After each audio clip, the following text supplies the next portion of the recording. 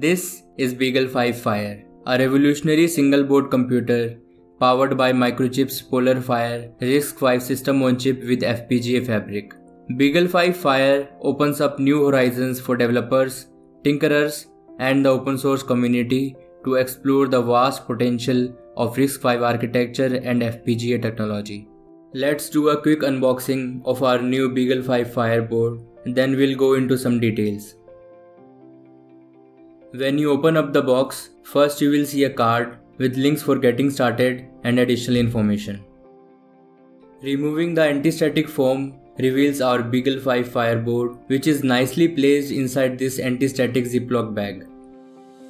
Let's take our BeagleV-Fire board out of its anti-static bag to take a closer look at it. BeagleV-Fire has a 12 layer PCB with a fiery red solder mask. On front side of the board, we have USB Type-C for power and connectivity, screw terminal for 5V power input, gigabit Ethernet, power and user LEDs, user and reset button, P8 and P9 cape header pins, UART and JTAG debug ports, M.2 key E PCIe slot, MIPI CSI camera connector, 16GB eMMC, and 2GB LPDDR4 RAM.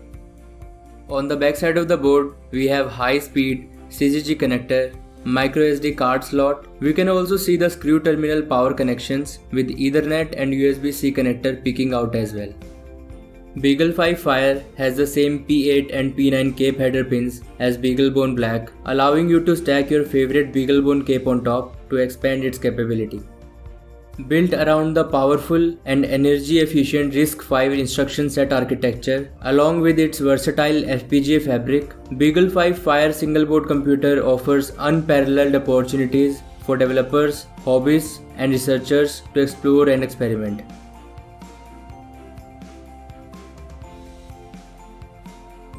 To know more about BeagleV-Fire board, you can check out beaglev-fire.org.